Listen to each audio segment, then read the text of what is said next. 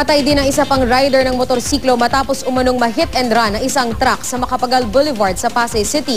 Ayon sa ilang saksi, marami raw nagkakarerang motorsiklo sa lugar bago naganap ang aksidente. Ang mainit na balita hatid ni Haji Rieta.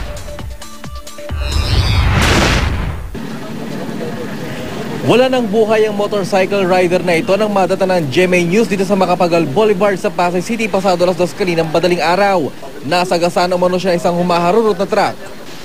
Nakilalang biktimang si Rafael Raurente na taga Tondo, Maynila sa pamamagitan ng ORCR na nakuha ng motoridad sa kanyang motorsiklo. na allegedly mayroon daw vehicular accident na nangyari dito nga sa Buendia Corner, Makapagal. So, pinuntahan namin at itungang nadatnan namin na isang biktima na nakahandusay na allegedly nasagasaan daw ng isang truck. Base sa ating nakita na mga skid mark, ah, nasagasaan sa ulong. Sa mga binti ng biktima mababakas ang mga marka ng gulong ng truck. Kwento na isang security guard na malapit lang sa pinangyaran ng aksidente.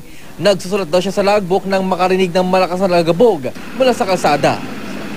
Pakikwento nga po, ano po yung nangyari kanina? Basta yun lang, may narinig na dito nakaupo. Nakarapo dito kasi naglalagbo.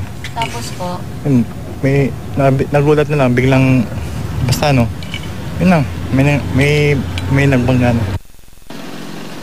Nang mga oras ding iyon, marami raw motorsiklo ang dumaraan na tila nangangarera. Ayon sa mga otoridad, talamak daw ang drug racing sa lugar kapag 10 oras na ng gabi. At lalo na raw kapag madalang na mga dumaraang sakyan doon.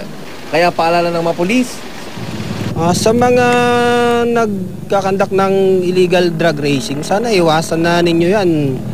Baka kay magaya sa nangyaring trahedya na ito. Pati katawan ko. Haji Rieta, GMA News.